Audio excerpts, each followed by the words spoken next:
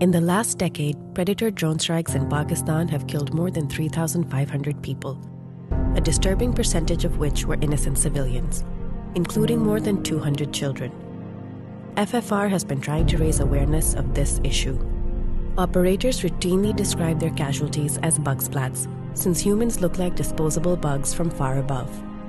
Most protests in Pakistan go unnoticed globally, so we decided to talk to the drone operators directly. The new project laid out a giant poster of a young child with the hopes that it will be visible from the sky.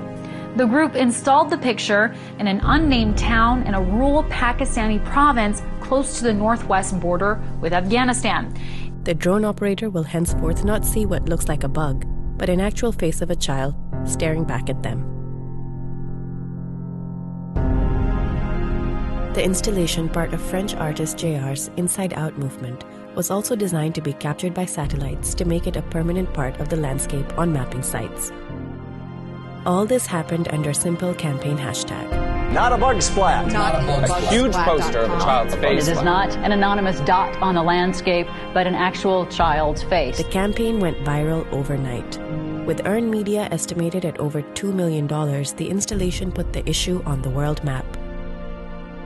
It was brought up by members of the National Assembly of Pakistan, while being picked up by activists in countries as far as Yemen and the US. Most importantly, we reached and affected our target audience.